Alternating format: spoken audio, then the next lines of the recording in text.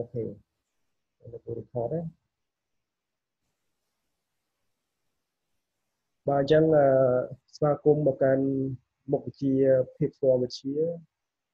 និងវឌ្ឍនៈរូបសាស្ត្រសត្វដែលពាក្យបច្ចេកទេសជាភាសាអង់គ្លេសគឺ immunology and pathogenesis of animals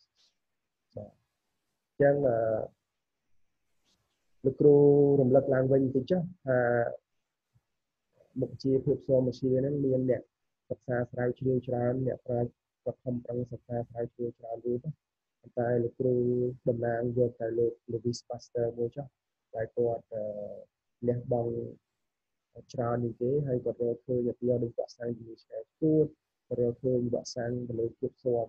ជំងឺកូលកូឡេរ៉ាទៅលើម៉ាក់សាច់អញ្ចឹងណា ចឹងលោកគ្រូនឹកគុណគាត់ទាំងអស់គ្នាដែលគាត់ខំប្រឹងសិក្សាស្រាវជ្រាវបន្សល់ទុកស្នាដៃឲ្យយើងបានរៀនគ្នាហើយនៅក្នុងភាពស្វមវិជ្ជាផ្នែកទី1ហ្នឹងគឺយើងចែកជាពីរធំធំគឺយើងមាន innate immunity ហើយនិង adaptive immunity បាទនេះចឹងតែថ្ងៃនេះលោកគ្រូចង់ឲ្យយើងស្គាល់អំពីសរីរាង្គដែលវាជួយអឺ support ជួយផលិតណាតាក់ទងនឹងកោសិកាឈាមសដើម្បីទៅកិច្ចការពាររបាំងសារពាង្គកាយយើងហ្នឹងអញ្ចឹងជាមើលរូបនេះណាគឺជារូបសត្វឆ្កែសម្រាប់មួយក្បាលហ្នឹងណាហើយវាមានទីតាំង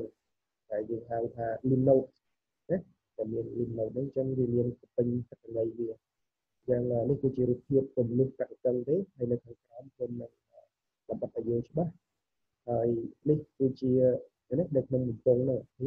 មានសតែ lymph lymphocyte នេះណាចឹង lymphocyte គឺជាកោសិកាឈាមសពេញវ័យដែលនឹងដើរតួនាទីសំខាន់នៅក្នុង adaptive immunity បាទនេះយើងមាន innate immunity ហើយយើងមាន adaptive immunity អញ្ចឹង lymphocyte គឺដើរតួនាទីសំខាន់អញ្ចឹងរូបភាពនៅខាងក្រោមយើងនឹងគូររូបទាំងអស់គ្នាថ្ងៃនេះដើម្បីឲ្យយល់ដឹងអំពីទីតាំងសរីរាង្គរបស់សត្វ អូខេអញ្ចឹងកន្លែងនេះ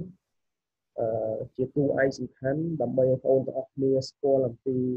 ពាក្យបច្ចេកទេសបាទនេះអញ្ចឹងយើងរៀនមុខវិជ្ជាអឺ anatomy យើងមានបច្ចេកទេសនៅក្នុងមុខវិជ្ជា anatomy នេះយើងរៀនមុខវិជ្ជា pathology យើងមានពាក្យបច្ចេកទេសនៅក្នុង pathology យើងរៀនមុខវិជ្ជា pharmaco ឆ្នាំយើងមានពាក្យបច្ចេកទេស នៅក្នុង pharmaco ឆ្នាំតែនេះយើងឥឡូវនេះយើងរៀនមុខវិជ្ជា immunology ភាពស្វមវិទ្យាអញ្ចឹងយើងមានពាក្យបច្ចេកទេសនៅក្នុងភាពស្វមវិទ្យាហ្នឹងបាទនេះយើងចឹងឯកសារនេះគឺល្អជាងគេដែលលោកគ្រូយកមកដាក់ហ្នឹងគឺយើងមានពាក្យបច្ចេកទេសជាភាសាអង់គ្លេសនឹងហើយហើយយើងមើលអំពីអឺប្រកបជារៀនសរសេរឲ្យយើងអានប្រកបទៅលើនឹងទៀតបាទនេះចឹង ហើយគេបំបែកវាថាវាមកពីអីឬគល់ឬគល់ពីនឹងមកពីអីហើយគេចាប់ដើមបញ្ចូលគ្នាចាប់ដើមចូលគ្នាទៅអញ្ចឹងយើងអាចយល់អំពីអត្ថន័យវានឹងហើយយើងទៅមើលវចនានុក្រមលម្អិតទៀតប៉ុន្តែនៅក្នុង slide នេះលោកគ្រូអាចដាក់មកទាំងអស់បានទេអូខេអញ្ចឹងលោកគ្រូឲ្យមកយើងនេះគឺរៀបតាម alphabet បាទនេះចឹងរៀបតាមអក្សរក្រមភាសាអង់គ្លេសអញ្ចឹង ភាសាអង់គ្លេសគឺយើងរៀបចំចេញពីអីគេ A មែនទេ A A B C D E F រហូតដល់ដល់ដល់ set ទាំងទៅណាអញ្ចឹងលោកគ្រូឧទាហរណ៍មួយចាស់ឲ្យខ្លួនឯងមើលទាំងអស់គ្នាបើនេះអញ្ចឹងនេះគឺជាអឺអក្សរ A នេះអញ្ចឹង A ចាប់ដើមឡើងអញ្ចឹង A ហើយ D អញ្ចឹងព្រោះវាមាន A A A A B A C A អីចឹងមកអញ្ចឹង A A B អត់មាន A C អត់មានតែវាមាន A D អញ្ចឹង A D ហ្នឹងគឺអីគេ adaptive immunity ឃើញទេអញ្ចឹងអញ្ចឹង adaptive immunity នេះណាគឺជាចំណុចថ្នាក់ទី2របស់ប្រព័ន្ធភាពស្វមយើងដែលយើងនឹងសិក្សាលម្អិតប៉ុន្តែលោកគ្រូគាត់បញ្យល់ keyword ហើយអានេះគឺគេហៅថា language of science គេថាពាក្យបច្ចេកទេសដែលយើងបកប្រែនៅក្នុងវិទ្យាសាស្ត្រ ហើយយើងនឹងមានពាក្យបច្ចេកទេសនៅក្នុង medicine ទៀតនៅក្នុងវិទ្យាសាស្ត្រទៀតចឹងកន្លែងរៀននៅក្នុង science ហើយហើយ science នៅក្នុង medicine ទៀតចឹងណាចឹងមកជាជាយើងមើលតាមហ្នឹងឃើញទេបើបងអ្នកដឹងស្គាល់ដូចនេះ A និង A នេះវាអាន A ហើយណា A ហើយ DAP នេះអាដាប់ឃើញទេហើយ TIV នេះអាដាប់ T ឃើញទៅហើយ IM នេះឃើញទេ IM នេះវា M mu ឃើញទេ MYOO mu N I E ហើយ T E E ចឹង adaptive immunity ឃើញទេចឹងព្យាយាមទៅមើលអានឹងអត់គ្នាហើយឧទាហរណ៍គេប្រើពាក្យនេះ adapt adapt ហ្នឹងបកប្រែ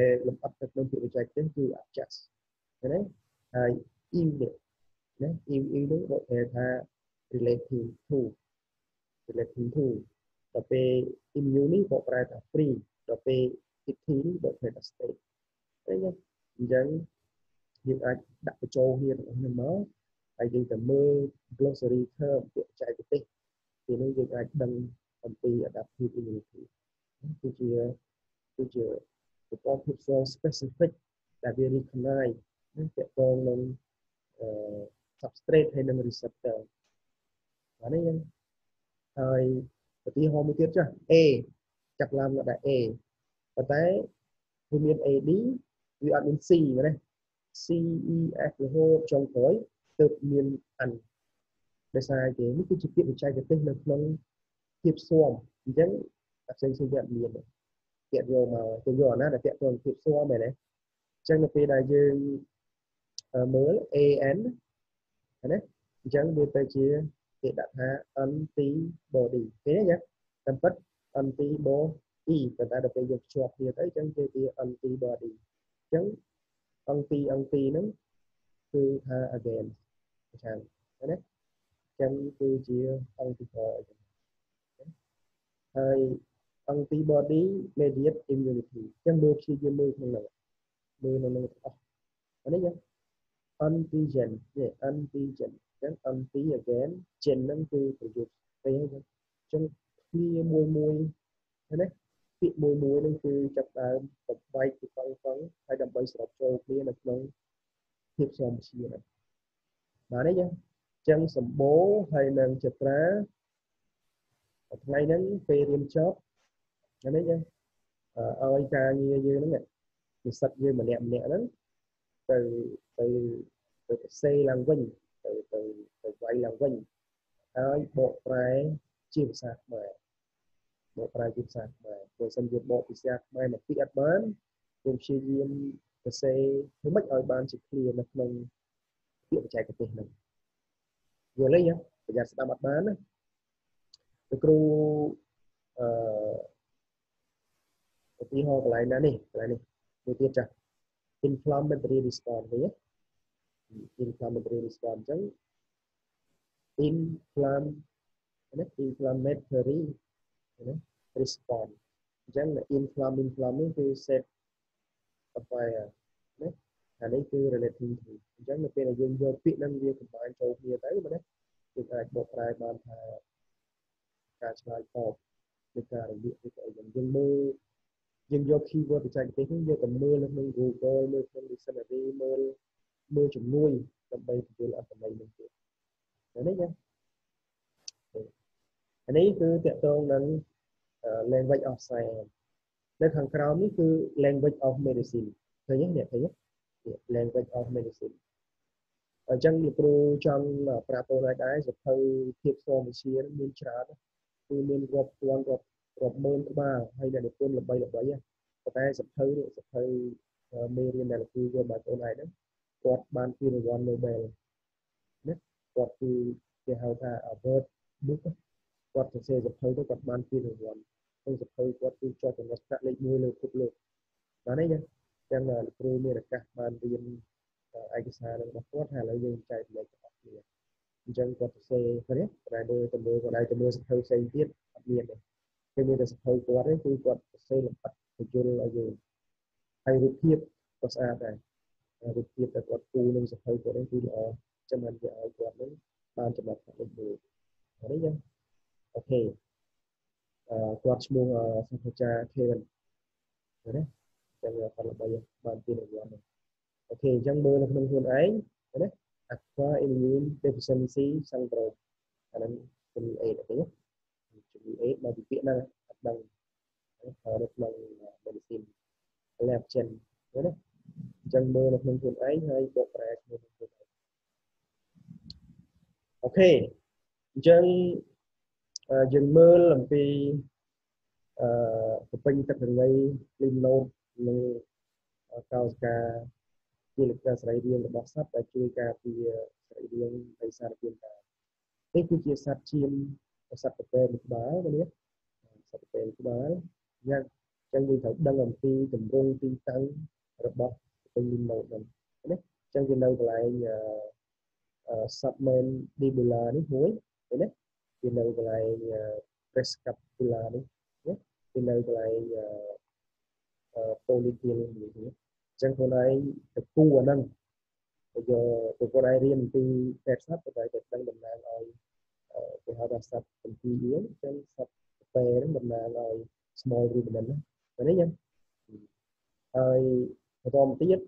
យើងមើលទៅលើសត្វជ្រូកម្ដងអានេះ swine species អានេះ ruminant species អញ្ចឹងអញ្ចឹងបងមើលច្រើនអានេះអញ្ចឹងនេះ limb node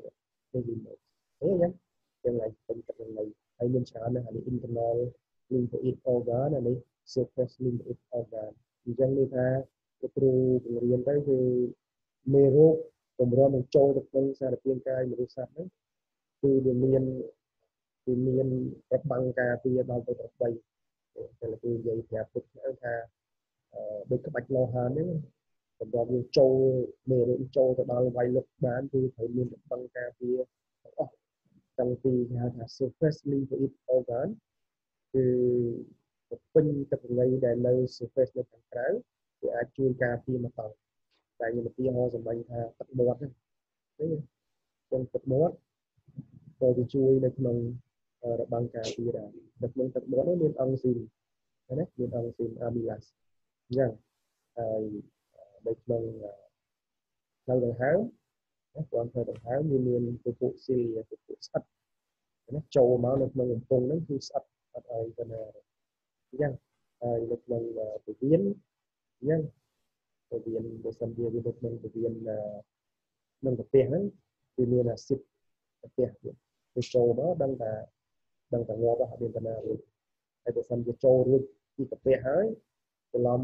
ចូលទៅទៀតទៅដល់ពវៀនធំងាប់ហើយព្រោះអីទេព្រោះក្នុងពវៀនធំអត់មានអុកស៊ីសែនទេអញ្ចឹងអញ្ចឹងបើសិនជាមានមេរោគហ្នឹងវាវារស់ដោយសារអុកស៊ីសែនគាត់ទៅចូលទៅដល់ពវៀនធំណាងាប់បាត់អញ្ចឹងរបាំងការពារ surface lymphoid organ ហើយនិង internal lymphoid organ ចឹង surface surface នេះគឺមានថាសរីរាង្គដែលនៅខាងក្រៅតែនេះណាលោកគ្រូប្រាប់ថាមានកញ្ចក់មានរោមមានរញើសមានស្នែងមានស្បែកមានរោមមានអីទាំងអស់ហ្នឹងអាហ្នឹងហើយគេហៅថា surface surface organ ដែលវាជួយការពារណាហើយដល់ពេល internal internal lymphatic organ ហ្នឹងគឺសរីរាង្គដែលនៅខាងក្នុងតែមានរោគចូលទៅហើយអត់រួចខ្លួនទៀត បាទនេះអញ្ចឹងទៅមើលរូបភាពហ្នឹងហើយនេះគឺជាពំនុះកតតឹងណារបស់នេះរបស់សត្វសត្វសត្វសំណក់មួយក្បាលនេះអានេះរបស់សត្វជៀមដូចគ្នាទេអញ្ចឹងនេះគឺជាពំនុះកតតឹងរបស់ប្រពេញទឹករងៃណានេះអញ្ចឹងពំនុះកតតឹងមក structure of lymph node and the major structure feature of a clavicle lymph node អញ្ចឹងណា អញ្ចឹងវាមានគេអានេះហើយនេះកន្លែង lymph flow កន្លែងឡើង capsule ណា afferent lymphatic lymph flow អីយ៉ាងមក cortex medulla blood vessel ហើយនឹង afferent lymphatic ហ្នឹងណាអញ្ចឹងដល់ពេលដែលយើងធ្វើពន្លឺកាត់តឹង lymph node ទៅយើងឃើញមានអីទៅណាដូចគ្នានេះមើលនៅក្នុងហ្នឹងហើយទៅមើលគូរូបនឹងឡើងវិញអូខេអញ្ចឹងរូបភាពនេះគឺលោកគ្រូពង្រីកឲ្យធំមើលកាន់តែច្បាស់ហ្នឹងខ្ញុំថា lymph nodes តែនេះឃើញ lymph node ដែរនេះ lymph node តែមានអានឹងគេហៅថាអញ្ចឹង lymph nodes lymph bone marrow thymus 4ហ្នឹងទេគឺក្បាច់លោហាន4នៅខាងក្នុងរងចាំមកអត់មានបណ្ណារួចទេពួកអត់អស់ហ្នឹងតែជាអ្នកបង្ការពារហើយនៅ